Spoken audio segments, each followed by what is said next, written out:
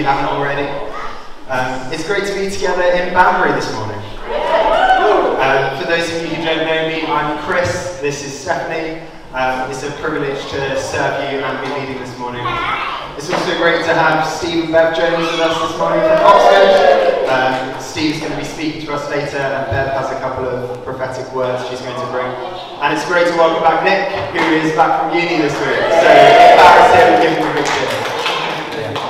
Um, just a few quick notices. There's no youth this morning, but we are doing provision for kids' work. Um, masks are no longer required for singing if you don't want to wear them. You're welcome to if it would make you feel more comfortable.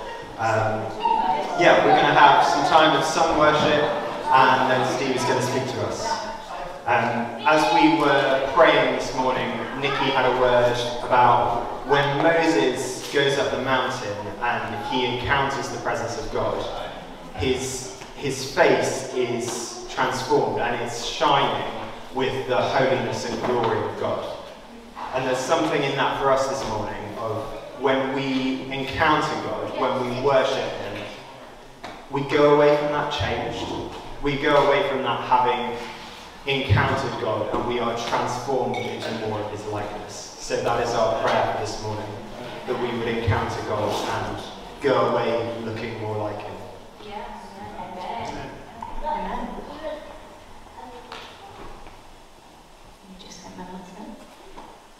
Um, I also, I don't know what you're coming to church this morning with. I'm very aware that the news this week has been heavy, for me in particular. Um, but we have a loving God, right? We have a God who's bigger than everything. Um, but I just wanted to take a minute to pray um, for the world before we move on. Yeah. Loving God, we pray for the people of Ukraine and for all those suffering and afraid, that you would be close to them and protect. We pray for world leaders that they would have compassion, strength, and wisdom to guide their choices. We pray for the world in this moment of crisis that they would reach out to you.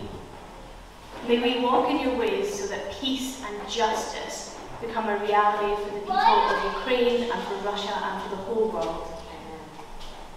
And Lord, we ask for peace for those who need peace, reconciliation for those who need reconciliation, and comfort for everyone who doesn't know what tomorrow brings. And Father God, we cry out for an end to this crisis. And for many others across the world. For peace, mercy, and truth. Because you are light and hope and power and love. Amen. I was reminded in Lamentation it says, um, I remember my affliction and my wandering, the bitterness and the gall. I will remember them, and my soul is downcast within me. Yet, this I call to mind, and therefore I have hope. Because of the Lord's great love, we are not consumed, for his compassions never fail. They are new every morning. Great is your faithfulness. I will say to myself, the Lord is my portion. Great is your faithfulness. Amen. And so this morning, wherever you're coming from, let us draw that to mind. God is great, He is faithful, He is wonderful. And as we move into worship, if you have anything that you think God is saying that is for all of us, we would love to hear it. We trust that He speaks to everyone. So we'll be sat here in front, but please do bring whatever it is that you think God is saying. I am going to pass over to Rich and the Holy Spirit who are going to lead us in worship. Thank you. Cool. Would you like to stand? If you're able, you can sit, you can run around. Right. Uh, we're going to start, start this morning with a, a prayer and a declaration.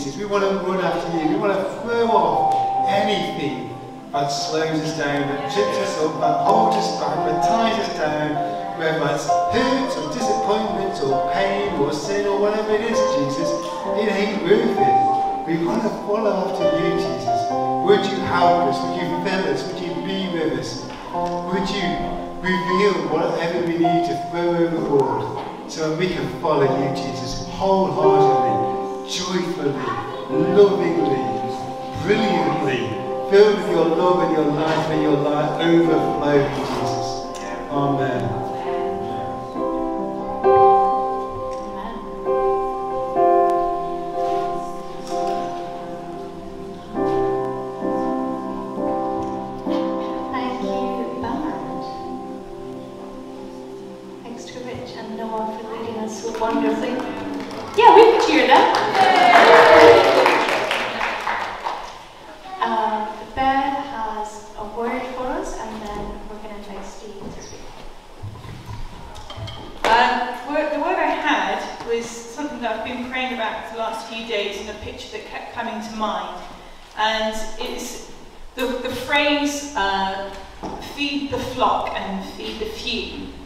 Uh, I think summarises it quite well. It was a picture of uh, a huge flock of birds like jackdaws and you often see them sort of come down into the farm fields this time of year and they sort of peck about and they eat. I don't know what they're eating, but they're eating in huge flocks. They drop down and then they lift up and then they come back down and you see that day after day as, as they're fed, the flock is fed as it lands into the field. And what you also get is, especially where we live, um, we have jackdaws that come down and land in our garden. And they, they live up in the chimneys, and there's just a few, and they, they land in the garden, and they and we feed them. You know, I don't have sparrows, I have jackdaws. So well, Lord, you've given me jackdaws. I'm going to feed these jackdaws. And uh, they, they live there, and they, that's where they feed, but they're actually part of the flock. And I felt God say that there are opportunities for you guys as Lifehouse to feed the flock, and that your field, the church that God has created, is there to be to be fed on. And you might not feel like you've got a lot there in the ground, in the soil, and there's no crop as such. But actually, there is nourishment in who you are in a united body and the flock can come down and to create those opportunities. And I know some of you are already doing that, but the opportunities like you've got here in Banbury, I think you've still got going. Um, the, the, the group that gathers families and kids, is that still happening here? and that, I would say, you know, that's a field opportunity. I just felt God say, open the fields. This is not a closed field. It doesn't have a lid on it. It doesn't have a fence around it. There is opportunity for the flock, the community, um, to come and land in your field. But actually, there are individuals in that flock that are going to come down and they're going to stay. And they might lift back off and they might come back in, but actually they, are, they become resident. They, they start living in the chimneys of your life. And so, you know, leave, leave off the mesh and allow them to come in. Allow them to come in and feed the few. Because actually, I feed those. I put food out on the bird table. And it's like there is, don't, I think there's something about not ignoring the few as well, because there is a closer unity with those few that we might get confused because they look the same as the flock, but actually God's saying, I'm doing one thing, but I'm also doing this thing. I'm drawing people in, make space and room for them and feed the few. Actually look out for them and invite them in closer into your life, because that's where I'm going to start building them into your communities as well. Yeah. Thank you. Kids, this is your cue to go to your feast. Doesn't that sound cool? if you follow out that door, Catherine's going to show you where all the food is.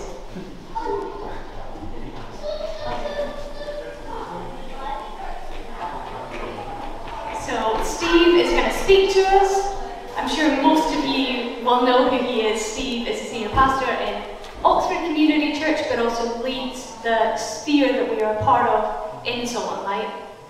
Um, and he is going to speak to us this morning on baptism Okay. of both kinds.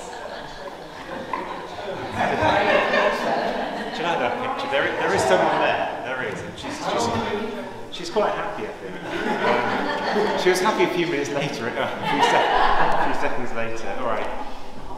Great. There we go. Uh, that was last time I baptised someone, which was last month, which is fun. That was in Africa and uh, in a swimming pool there. Um, you're in a series looking at the vision of Jesus. Yes. Yes. Yes. Excellent. And this uh, topic for this morning, baptism, is right there in Jesus' vision. Uh, it's clearly very important to Jesus. Uh, it was one of the very last things he spoke about on this earth. It's right there in what we call the Great Commission. Matthew 28 says, and verse 18 says, Jesus came to them and said, All authority in heaven and on earth has been given to me. Therefore, go, make disciples of all nations, baptizing them in the name of the Father and of the Son and of the Holy Spirit, and teaching them to obey everything I've commanded you. And surely I'm with you always to the very end of the age. There's something a little bit odd about this word baptism, or as it has it here in, uh, in Matthew 28, baptizing. Something a bit peculiar. It has a peculiar history in that it goes strangely untranslated. Let me explain. There's a word in the Greek that this English translation comes from, the word ethne, which is translated nations, because that's what it means. There's a word pater, which is translated father, because that's what it means. There's a word huios, which is translated son.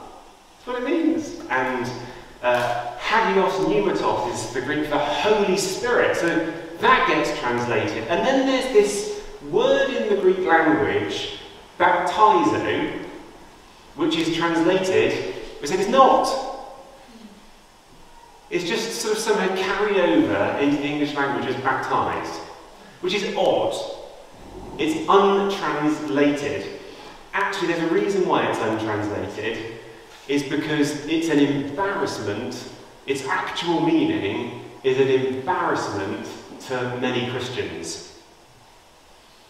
A great many Christians sprinkle babies with water and call it baptism. But the word baptize, baptizo in the Greek language, means to immerse. I think the best way to make sense of this for Brits is they're like a tea bag. you don't sprinkle a tea bag with water. There's not a lot of benefit in that. But you baptize, you immerse the tea bag. That's what we do to make tea. And it was actually the case that in uh, a couple of hundred years ago, as our Bible societies, which are wonderful, wonderful organisations, but as they got going, they refused to fund the publication of English language Bibles that actually translated the word baptize as it really is, as the word immerse. So people like William Carey translating the Bible into various languages in the subcontinent of India wanted to translate the word as it just, wanted to translate the word from Greek into the Bengali, say, equivalent of the word immerse. The Bible Society refused to fund it. They said it was divisive to translate the word as it. So today we use the word baptism, and it's odd because of that history. So I'm changing my title this morning to Immersion, just to make the point, really. And I'm going to try, I'm going to try to use the word immersion all the way through instead of baptism. But I might fail because it's so wired into us to talk about baptism. But what it's all about is immersion. Uh, there are two kinds of Christian immersion one in water and one in the Spirit. In Acts chapter 8, we read of Philip who told this Ethiopian on the desert road about the good news about Jesus. And it says, as they travelled along the road, they came to some water. And this Ethiopian eunuch said, Look, here is water. What can stand in the way of my being immersed? And he gave orders to stop the chariot. And then both Philip and the eunuch went down into the water, and Philip immersed him. This immersion in water has a couple of meanings. It's most obviously about cleansing. Put things into water to get them clean. And this immersion in water, a people in water, speaks about the cleansing that God does to us, not just of the mud that on, uh, gets on the outside of us, but cleanses us internally as well. It's wonderful. And because we didn't, we don't, oh, I've not got the picture there anymore, we don't leave them in the water, obviously, pull them back out. It speaks really clearly of death going into the grave and resurrection coming back up again. Death and resurrection, it's about change from one way of living, death to the old life, and rising in a new life in Christ. A really powerful picture, this immersion in water. There's also an immersion in the Spirit. Uh, John the Baptist, or as I want to refer to him, John the Immerser, said, I immerse you in water, this is in Mark chapter 1, but one who is mightier is coming. One who is mightier is coming, and he will immerse you in the Spirit. So that's just a wonderful, wonderful phrase to be taken, just like a tea bag is immersed in water, and for us to be immersed in the Holy Spirit, just surrounded by Him, overwhelmed by Him, given entirely over to Him. And at the start of the book of Acts, it records Jesus as saying to the disciples, Wait for the gift my Father has promised, which you've heard me speak about. For John immersed in water, but in a few days you will be immersed in the Holy Spirit. Yes. That happened on the day of Pentecost. Now, these two kinds of immersion in water and in the Spirit, they are distinct experiences, but they're both part of becoming a Christian, and they can happen in either order. we see this in the book of Acts. So, if we read Acts chapter 8, about what happened in the city of Samaria, it says that when the apostles in Jerusalem heard that Samaria had accepted the word of God, they sent Peter and John to Samaria, and when they arrived, they prayed for the new believers there that they might receive the Holy Spirit. Just to note, this um, phrase that Jesus uses, that John, the immerser, uses, is that the people will be immersed in the Holy Spirit. But elsewhere in the New Testament, the same experience is described in other language. It might be described as receiving the Holy Spirit or being full of the Holy Spirit. But it's the same experience being described. And these believers, it said that uh, they prayed that they might receive the Holy Spirit, for the Holy Spirit had not yet come on any of them. They had simply been immersed in the name of the Lord Jesus, that is in water, and then Peter and John placed their hands on them and they received the Holy Spirit. You don't need to hear that amplified. so in that case, they'd already been immersed in water, but then the Holy Spirit was given to them as a gift. Go forward just a couple of chapters to Acts chapter 10. Um, where Peter is speaking to Gentiles at the house of Cornelius, and it says, while Peter was speaking, he's speaking about Jesus, the Holy Spirit came on all who heard the message. Ha, that sounds good. And the circumcised believers who come with Peter, the Jewish, they were astonished that the gift of the Holy Spirit had been poured out even on Gentiles, for they heard them speaking in tongues and praising God. And then Peter said, Surely no one can stand in the way of their being immersed in water. They received the Holy Spirit just as we have, so he ordered that they be immersed in the name of Jesus Christ. So, in their experience, the Holy Spirit came upon them first, and then there was a need to get on with, uh, and freedom to get on with, uh, immersing them in water. So, both things matter, both are naturally part of the process of becoming a Christian. I think we hear an echo of that in what Jesus says when he describes to Nicodemus what it is to be born again. It's there in John chapter 3, and he says you need to be born again of the water. You need to be born of water and spirit. There's an expectation of both of these things happening. So that's just a little rehearsal of things that I'm sure many of you would just be very familiar with. The question I want to move on to really is what are we to make of all of this? Like, so what for us today? Speaking to a group of whom I imagine the great majority have been immersed in water and you have experienced the Holy Spirit. So, so what? Is, what is the significance of this for us today? Well, I think it would be helpful for us to look at another immersion in water, and that is Jesus' own experience with John the Immerser in the River Jordan. I want to read um, the is there in all four Gospels. I just want to read from Luke's Gospel, and I'm going to jump over one or two. There's a genealogy, and there's a bit about the temptation of the wilderness. I'm just going to read from Luke chapter 3 and then from Luke chapter 4. So, Luke chapter 3 and verse 21 says, well, he does when I've upgraded the translation, uh, when all the people were being immersed, Jesus was immersed too. And as he was praying, heaven was opened, and the Holy Spirit descended on him in bodily form like a dove, and a voice came from heaven You're my Son, whom I love. With you I'm well pleased. And then later in uh, Luke chapter 4, it starts saying, Jesus, full of the Holy Spirit, left the Jordan and was led by the Spirit into the wilderness, where for 40 days he was tempted by the devil. And it goes on to say how Jesus overcame all of those tests. Oh, I've gone a little way on. There we go. Jesus overcame all of those tests and remained clean and remained holy. And then it says in verse 14 Jesus returned to Galilee in the power of the Spirit and news about him spread through the whole countryside. He was teaching in their synagogues, and everyone praised him. And he went to Nazareth, where he'd been brought up.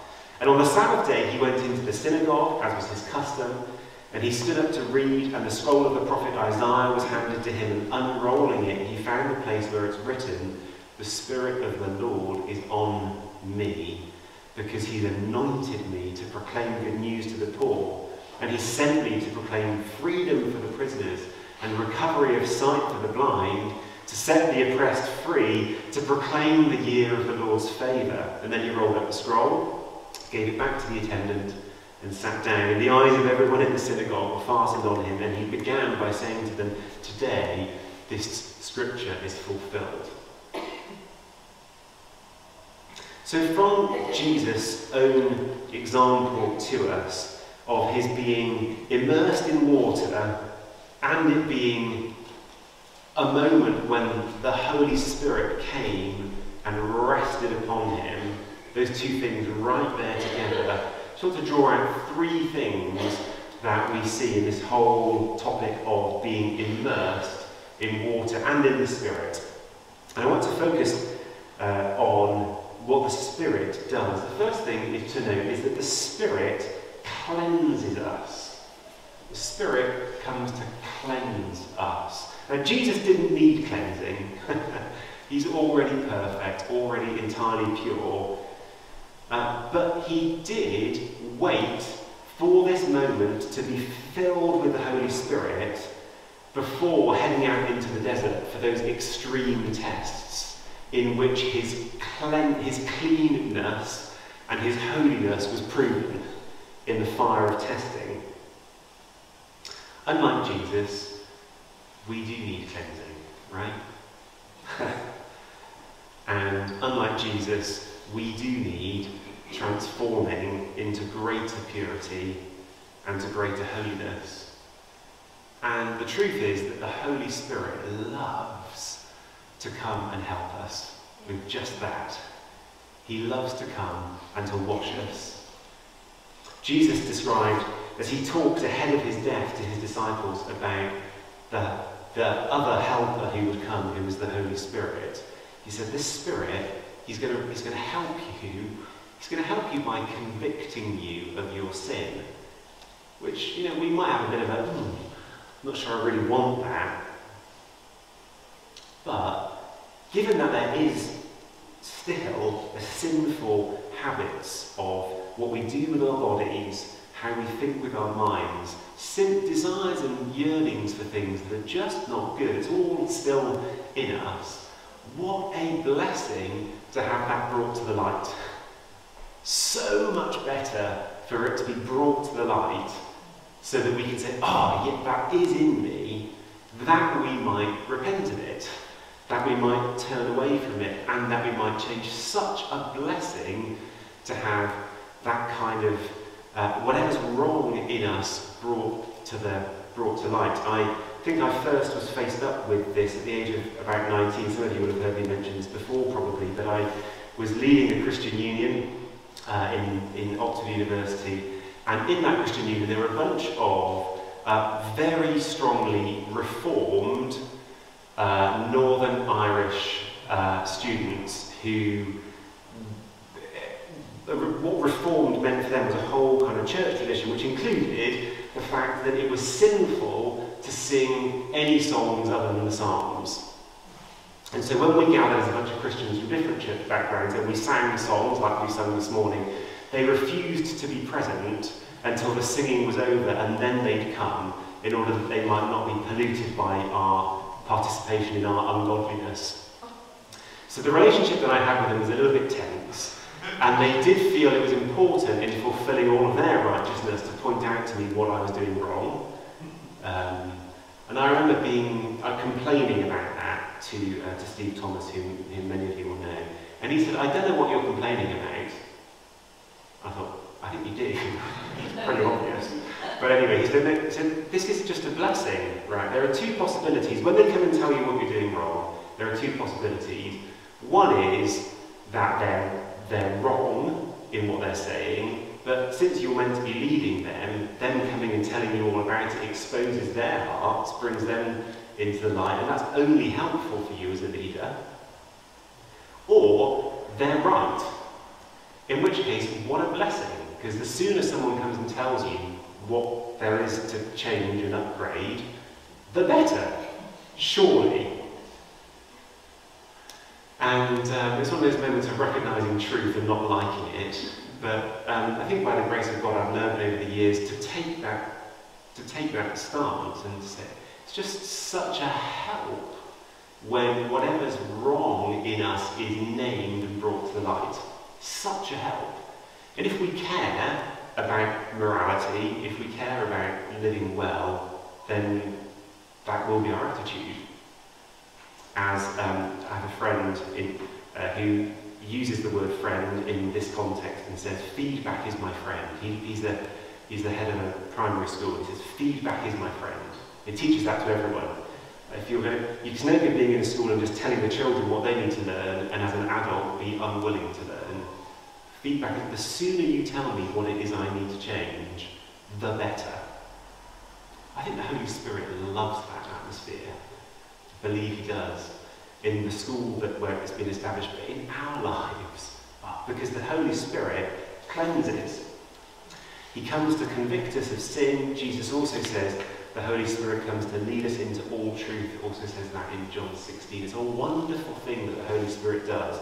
And then when we walk in step with the Holy Spirit, as it describes in Galatians 5, there's all this fruit that comes love, joy, peace, patience, kindness, goodness, faithfulness, gentleness, self-control. The Holy Spirit grows all of these things in us, and it's a wonderful, wonderful thing that he does. Uh, secondly, that we see in Jesus' story, and it's true for us, that the Spirit makes God's love known to us. So, in the story of Jesus being immersed in the River Jordan, we read that these words come from heaven This is my beloved Son. This is my Son, whom I love, and I'm well pleased with him. Actually, the picture of the Holy Spirit coming as a dove also speaks of the love of God. I don't know what you've thought or heard said about what's distinctive about doves. I think over the years I've heard people saying doves are kind of especially timid birds and they're easily scared. Actually, doves are in the same family as pigeons, which are not known for being especially scared. And it's not true that doves are especially scared as birds. What is distinctive about doves, and it was very much understood in the ancient world, is that they speak of love and beauty. So we can see that in the Song of Songs, for example, just to quote a few bits about doves. In the Song of Songs in the Old Testament, how beautiful you are, my darling, how beautiful. Your eyes are doves. Doesn't mean they're running away. It means they're desirable and wanted and beautiful. Flowers appear on the earth. The season of singing has come. The cooing of doves is heard in our land. It's a picture of a tenderness and of intimacy. Open to me, my sister, my darling, my dove, my flawless one. It says, My dove, my perfect one, is unique, the only daughter of her mother, the favourite of the one who bore her. Dove speaks of intimacy and tenderness, of beauty and of love. And God is love, and the Holy Spirit, being God, is love. Now, the Father loves Jesus, and Jesus loves the Father. And Jesus loves the Holy Spirit, the Holy Spirit loves Jesus, and the Father loves the Holy Spirit, and the Holy Spirit loves the Father. The, the, the one in whose name Jesus said people should be immersed, Father, Son, and Holy Spirit, is this endless, dynamic, intimate love to one another. God is love. It's wrapped up in the very nature of who He is. He is a perfect, eternal union of love. And amazingly, we are invited in. It's, we are invited to come within the love of God. We're invited to be in Christ and to be immersed in the Holy Spirit and to become part of that relationship of love, to come within the love of God. And God does this, He makes it real to us in our experience through the Holy Spirit. So, Paul, writing to the Roman church, wrote in Romans 5, or 8 up there, I'll come to that in a moment. Romans 5 and verse 5 God's love has been poured out into our hearts through the Holy Spirit. Through the Holy Spirit who's been given to us. And in Romans 8 and from verse 15, it says that the Spirit you received brought about your adoption as children of God, and by Him, that is by the Spirit, we cry, Abba, which means Father. And the Spirit Himself testifies with our spirit that we are God's children. So the Holy Spirit communicates to us, leaves us well assured that God loves us, gives us that experience of God's love. I, like you, I'm, I trust you've had moments when you've just been overwhelmed by an awareness of not just that God's here, not just his presence, not just the weight of his presence, but the warmth of his love. Sometimes people describe that as being like waves of liquid love, struggling to find words for the intensity and the depth of the experience of the Holy Spirit. Being immersed in the Holy Spirit is an experience of being immersed in, in the most astonishing love.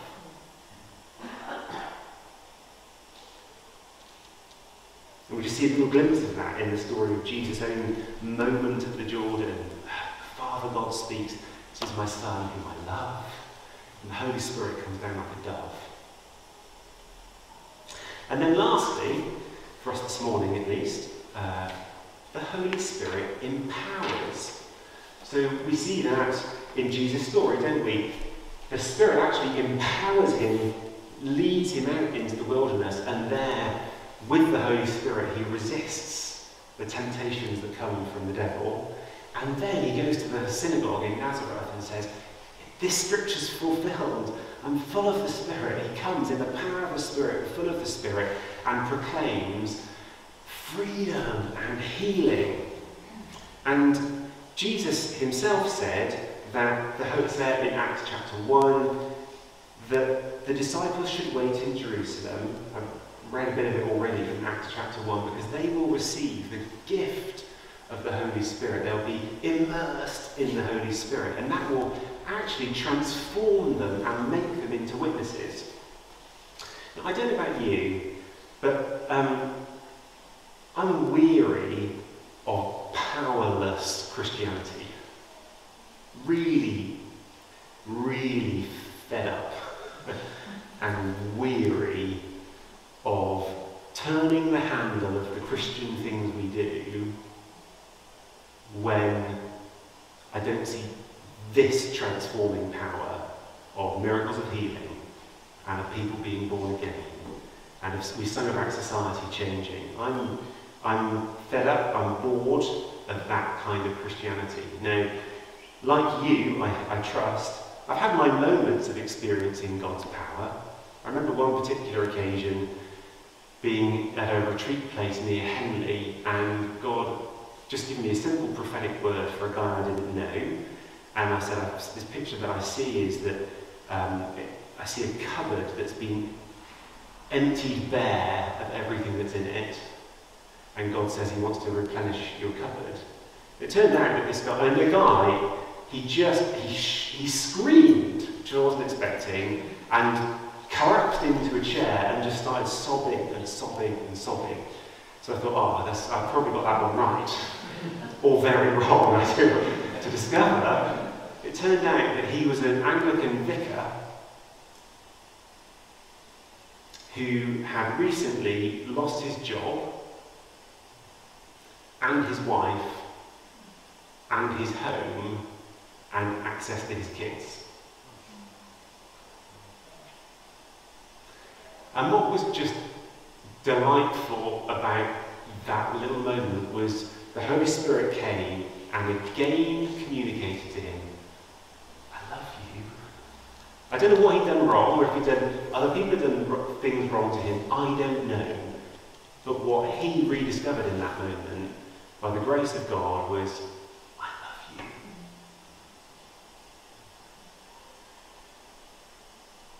I'm glad to have moments of that kind in my own life story and to have seen it and to have received it as well as God's used other people.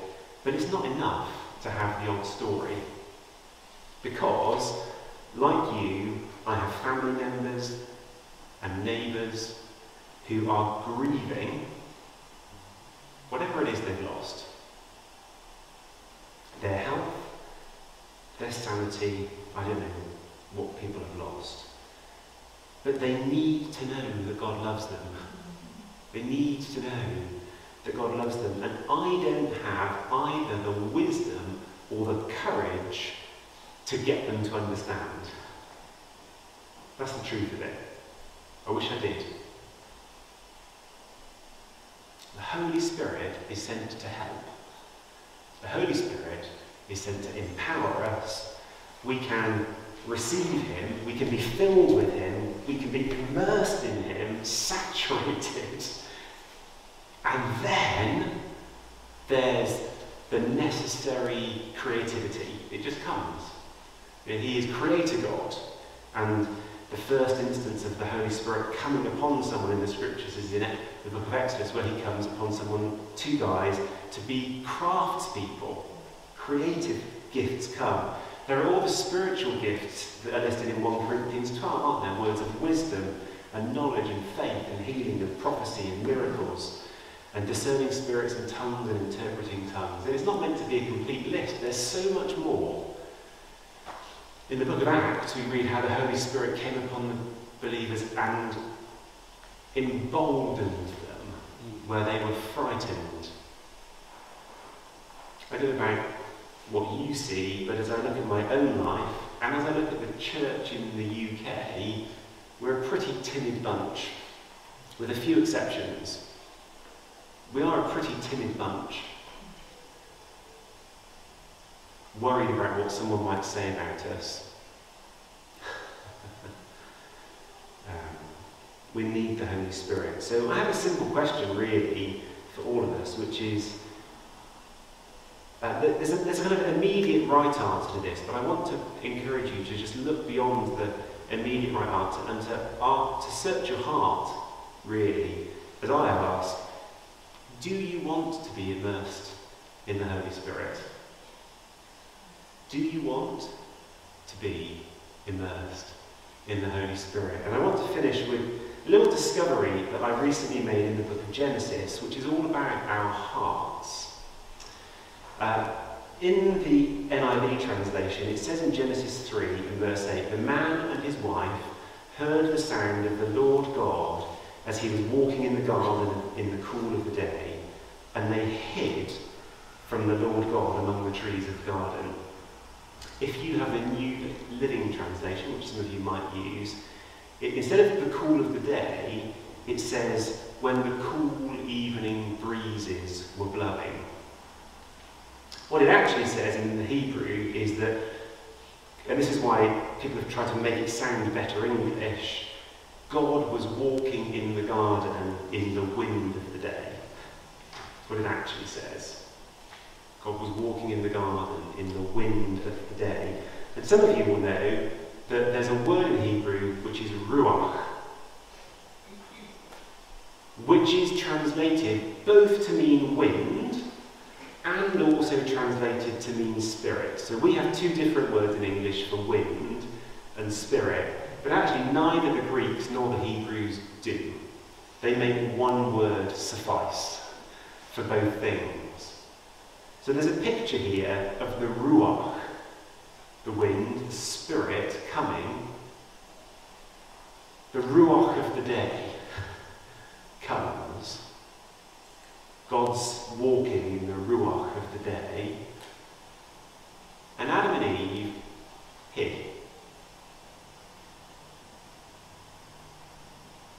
And I wonder how often, when we sense God might be moving, we actually take a bit of a step back from what is a little nudge from the Lord, maybe to share a word with someone or to go to a certain place. Or there's a, we sense that God's calling us to deepen our times of intercession or of worship with Him, whatever it is where we sense that the Ruach, today's Ruach is, what is it today? If you're anything like me, quite often in those moments, you either let it pass by or you just take little, actually, I'm a little bit busy today, Lord. I don't think you understand, I've still got more emails to answer, or I've still got tea to make, or what, you know, whatever it is. And before we know it, we're hidden among the trees of the garden, and, and the moments pass by. So I want to ask again, do we want, do you want to be immersed in the Spirit? And often at moments like this when we gather, we have a time of response, we can lay hands on each other to be filled with the Spirit. I actually felt this morning we can all, if anyone needs prayer, we'll pray. Of course we will. But actually, what I really wanted to do, I was right to do out of this, was to, to leave you with that question and, and to send you away, if anything, slightly troubled by it. And I, I know we're supposed to come together and find God's peace, but I felt like there was something here to, to stir up and to ask, how much do we want more of this? How fed up are you of powerless Christianity? Jesus said, if we ask, then we'll find. Uh, so if we seek, then we'll find. and if we ask, it will be given to us. If you never received the Holy Spirit, if that's you this morning, if you've never received the Holy Spirit, if you're not sure if you have, ask someone to lay hands on you, like it was described in the book of Acts. Lay hands on you to receive the Holy Spirit today. But if you are, you know that the Spirit lives in you, I want us just stoke that desire, stoke that appetite, and say, let's let's be earnest in saying, I don't want to keep turning the handle. I don't want another month. I don't want another year of turning the handle. I want you, Lord. And so I'll finish there.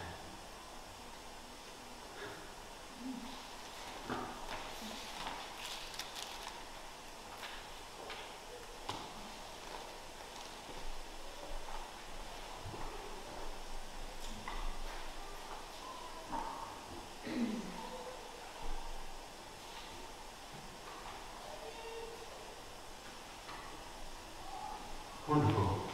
Thank you, Steve. Um, yeah, there is there is time to sit and reflect. Um, there are many of us available to pray with you if you would like, um, especially if you want to receive the Holy Spirit the first time. Um, we also have some prophetic words that we felt would be appropriate to share at this point.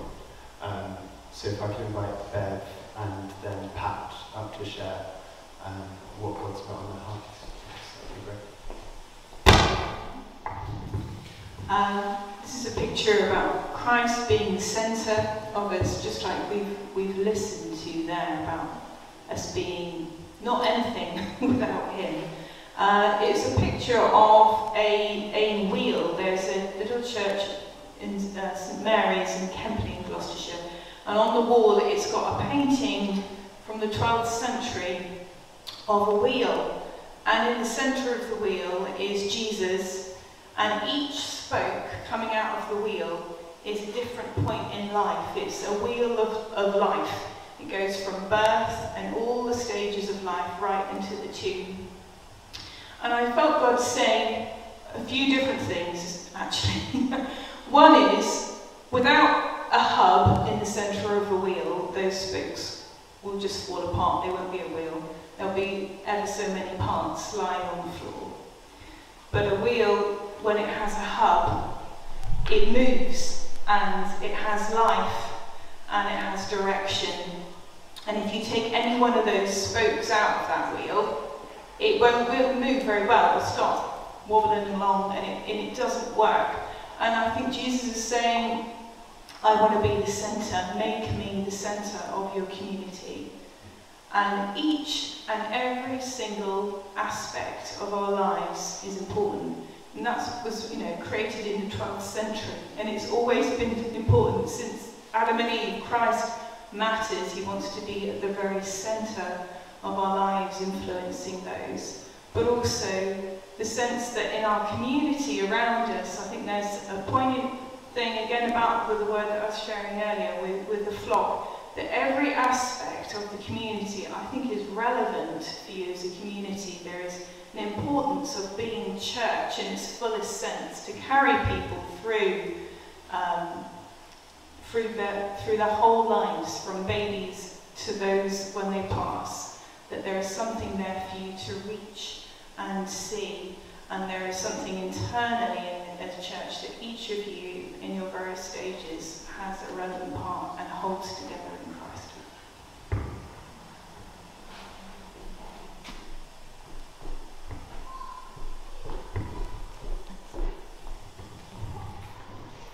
Um, I just felt God talking to me this morning about scars, and I wasn't quite sure what He meant by it, and I kind of, uh, I felt I wanted to hide a bit, but I'm trying to be brave, and I've come out and said it, and hope He's going to give me something. Um, but most of us have probably got a scar somewhere on our body, and it's because we've been injured, or we have injured ourselves doing something. And I felt God say this morning that um, scars heal, and in time they do fade, but you remember where they are. even if you can't see them as clearly as you used to be able to. Um, and I, I felt him saying that isn't a negative thing, it's a positive thing because it's a reminder of how I've healed you. And it reminded me too then of how Jesus, he bears the scars on his hands. When he reappeared to the disciples in the upper room after he'd been crucified, he had the scars in his hand and hands. And um, that was a reminder of what he'd been through. And often when we see pictures of uh, how people think Jesus looks, um, he's often got the scars in his hands as a reminder of what he's done for us. So um, I don't know any more than that, just that Jesus was saying that the scars are a reminder of what he's done for us. So I'll just leave that with you. Thank you so much. Um, we're going to take some time to pray before we go. Actually, we'll take a few minutes just to wrestle with those questions from Steve. Um, ask the Spirit for more. He says he will ask and you will receive. Um, if you'd like someone to pray for you, why don't you? There's space at the back over there, and there's plenty of people who would love to pray for you, whether that's for the Spirit for the first time or for something that's coming out of the prophetic.